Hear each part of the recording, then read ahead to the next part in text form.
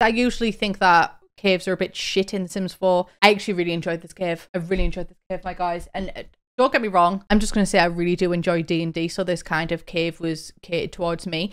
But I actually, I really enjoyed it. I felt like thought had actually went into it instead of just being like, oh, this place is a place, but there's nothing really there. Let's just shut a cave in. And like, it's, I didn't feel like that. I felt like you could tell that the nerdiness of the devs actually came out in the cave and thought was put into it. Different levels of the cave that you have to go and you have to actually think about what you're doing and you have to defeat people, but also make sure that you're healing yourself. And you have to work out codes too. It actually made me interact with the world around me and it was necessary for me to interact with the world around me because one of them is the door says bar or something so i had to go and get a sheep and bring the sheep into the cave with me. It felt like a mini quest i could work towards. I just i love anything that makes me interact with the world and like makes me experience gameplay